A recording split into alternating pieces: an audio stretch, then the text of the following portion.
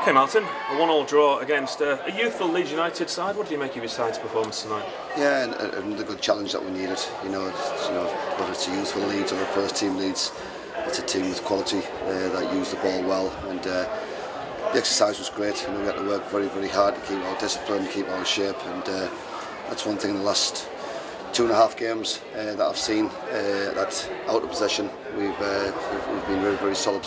In that first half performance, I thought you, you were pretty dominant throughout. Yeah, it was good. And you say, you know, if you look at the chance in the game, probably created two or three, four fantastic chances. Uh, you know, another day, you know, you, you probably win that, you can win that game comfortable. But hey, pre-season's about sort of getting minutes under your belt. Yeah, we all want to score goals, but uh, equally we don't want to get beat as well. You know, I think it's important to have that, that mentality of hard to beat. And uh, you know, I think what was good is that when we when we went to one-one, we had a real good solid shape. We didn't sort of become 2-1 and 3-1 and the game became in their hands. We sort of stayed in the game very well and uh, probably frustrated them an awful lot and uh, they probably found it very, very hard to break us down. There was a trialist down on the team sheet, got the goal. Joe Tate, the centre half from, from Spennymoor, what's attracted you to him and has he done enough to get a, to get a contract? He's done well tonight, he's done very well tonight. Obviously Tom Allen's gone down injured um, pre-season and you know, it's, it's when will he be back? You know, he could be week two, three, four weeks, who knows that. Uh, but you know, competition for players is healthy. He's come in tonight and done done well. And uh, as I said, it's, uh, that's, that's what you're looking for for everybody that comes in the building. Any particular reason why you only gave him 45 minutes? Yeah, it's his first 45 minutes since probably his last season. So uh, you know, he's, he's, he's trained a little bit with us, but uh, but you know, the last thing I want is an injury. Alex Kempster was named man of the match. We thought he was superb down that left-hand side. Is that where you would like to, where you see him moving forward, playing?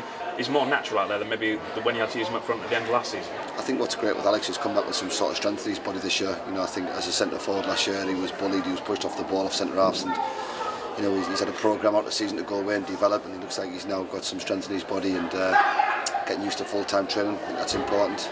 Uh, but like young Vinny Steele, you know the, the, the bits of appearances that we've seen, you know the boys need their first full pre-season, uh, and that, that'll only benefit them both.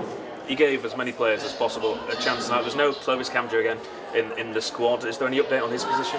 Yeah, you know, at this moment in time, we're not in a position to sort of bring Clovis in, uh, and uh, as you said, unfortunately, that's just, that's where we're at this moment in time.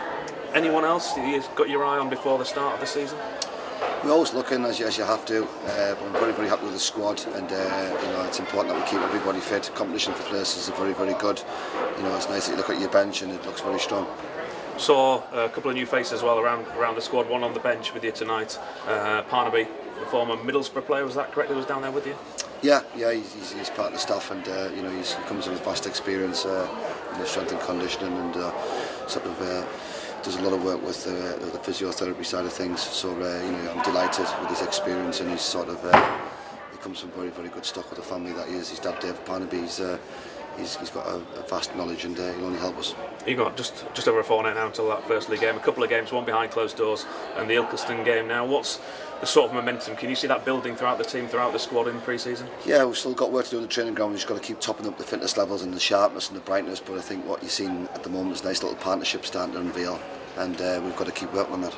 Do we take anything from the first 11 that you put on the first half tonight or not? No, nothing at all. Nothing at all. It's just about, you know, lads getting minutes and, uh, you know, 60 minutes, 70 minutes and, uh, you know, we'll just keep looking and working with, uh, with, the, with the group of players that we have.